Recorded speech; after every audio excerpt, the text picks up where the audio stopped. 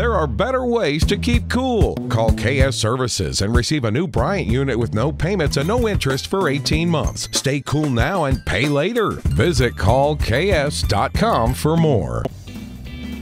This is the Saturday morning edition of the weather video for December 5th, 2020. Plenty of sunshine for your Saturday with near normal temperatures, but clouds make a return for Sunday with a small chance of a shower or two. Here's what the 0Z run at the GFS has for us for the 7 day forecast period. Saturday will be a dry and cool day across central Alabama with near maximum sunshine through the daylight hours. Some clouds will move in from the south and southwest during the late night and overnight hours, but will stay dry. Afternoon highs will be in the mid 50s to the lower 60s across the area. We could see a few isolated light showers across portions of central Alabama on Sunday, as a weak system will be moving through during the afternoon and evening hours. Almost everyone will stay dry as rain chances are very small, but skies will be mostly cloudy throughout the day. Highs will be in the lower 50s to right at or just below 60 degrees. Clouds will be moving out of the area on Monday and dry weather returns for nearly the entire work week ahead. Skies will start off partly to mostly cloudy but will end up mostly clear by sunset. Highs will be in the upper 40s to the mid 50s.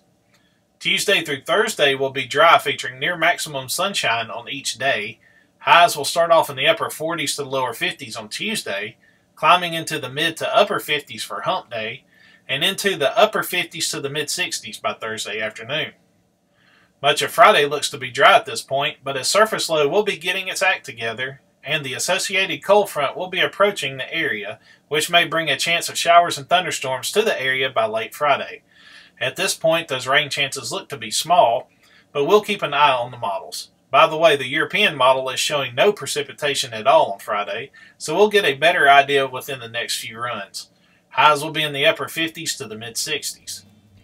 And for the tropics, we have no issues across the Atlantic Basin and no new tropical cyclones are expected to form over the next 120 hours. That will do it for today's video. We'll have notes on the blog throughout the day.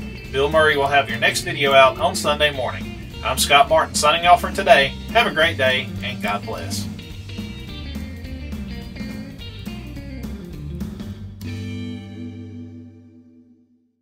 Never wait for hot water again with a tankless water heater from Plumbing Experts. Tankless water heaters are easy, convenient, and now more affordable with a no interest financing for up to 18 months. Stop with the cold showers and wasted water and call Plumbing Experts today.